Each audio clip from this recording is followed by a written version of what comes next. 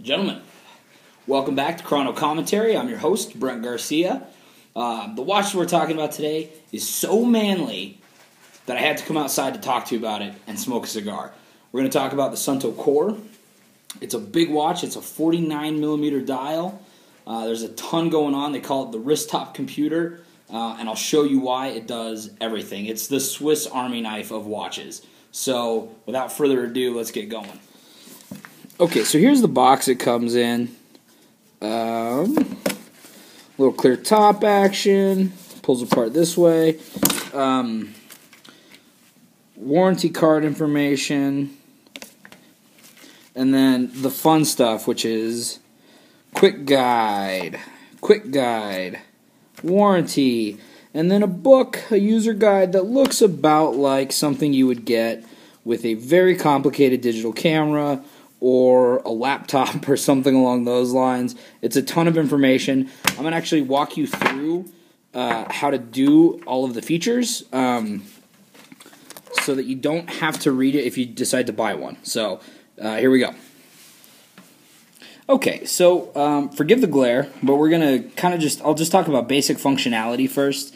Uh, here's your barometric readout. You can lock the watch buttons because it is a big watch and it hits your wrist.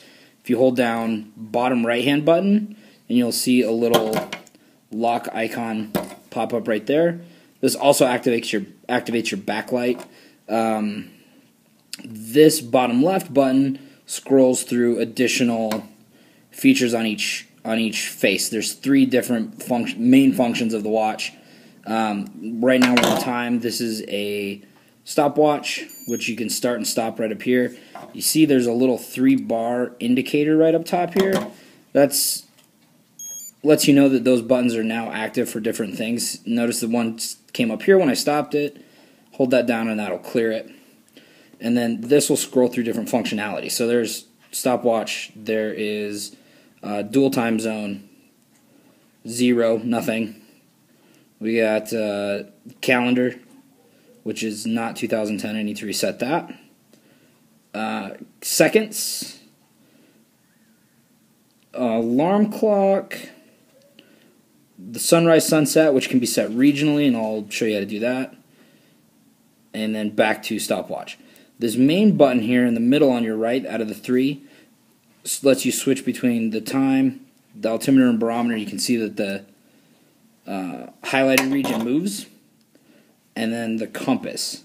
So each one of these different main function settings has different options down below. So that one has the temperature, uh, the log, which you can log your ascent and descent. You can also log uh, uh, dive depth, which is pretty cool.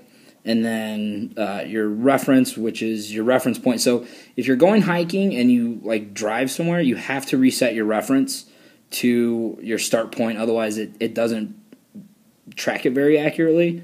Um, time, and then in compass mode, the options that you have are bearing indicator, which you just set by using this. And you can see that now it's telling us if we're on track or not. Um, give you the time, and then give you what direction you're actually facing. So I'm facing north, 351 degrees north at this time, and then back to that. So that's kind of the basic rundown of of the the essential modes, and I'll and I'll get into actually how you change things and move things around. Well, we had to move the party inside because it was getting a little bit dark, but I'm going to show you really quickly um, the the back of house where you make all your changes. You just hold down your middle um, main button, and then you'll see the memory, which is where you store your logs, the time and date where you can set uh, your alarm, your uh, countdown, various countdown functions, your time, the dual time, the date. The bottom left hand button lets you go back. Sunrise, um, mentioned this earlier, location USA. Region is mountain. The nearest city to me is Albuquerque, and there's a pretty good um, representation of, of what's available here.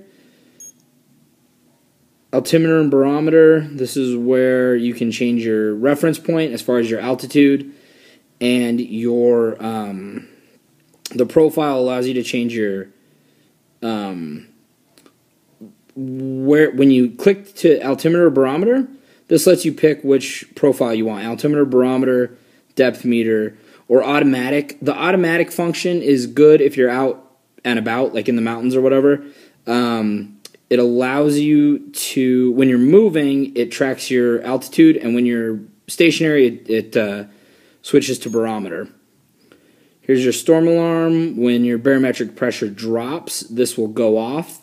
Um, mine goes off all the time, and I, I don't necessarily always have a storm coming, but whatever, what can you do?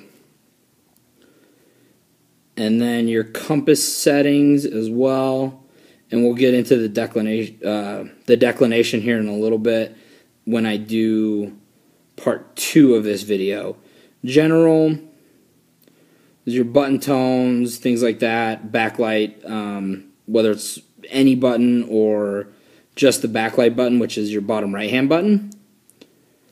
Um, language, and then units, metric or not metric. Temperature, air pressure, things like that. Okay, so that's the general gist as far as functionality goes on the watch. A um, couple quick other side notes primarily constructed of hardened plastic or resin or whatever it is. Um, the band is interchangeable. They make for this model. They make I know they make like an orange rubber strap. They make a brown leather. I think they make a stainless steel as well that you can change out. Um, all of the lug configuration is all it's all screw in. So this is something you could do yourself if you wanted a different strap on these. Um, one of the coolest things that I found on this is that the is that the stay, the strap stay on here is actually it's got a rivet in it if you can see that. So if you have little wrists like me, that thing fits on, it locks it in so it doesn't slide around on the bracelet, which is really cool.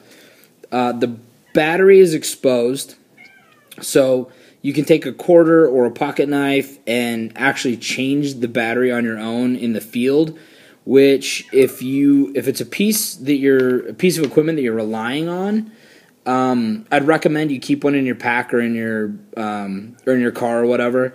Uh, the compass, the backlight, some of those types of features do take quite a bit of battery power. The bezel is rotatable. It's just a little bit. I mean, it's a little tough to do. I mean, you got to get a real good grip on it, but it it does work. It's functional. And um, when I talk a little bit more about the compass features, we'll talk about how to use the bezel on that as well.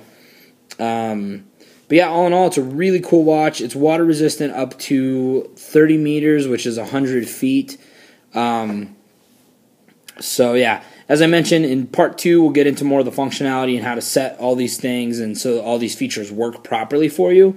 Um, so, yeah, see you guys next time. Also, don't forget to check out the blog. It's uh, chrono-commentary.blogspot.com. Uh, I've got links to a bunch of these watches. I've got more reviews and more to come. And I've also got some really cool specialty watches that I'll be featuring and talking about. So get on the email list so you know, so you know when those are going to happen. And uh, thanks. We'll talk to you guys soon.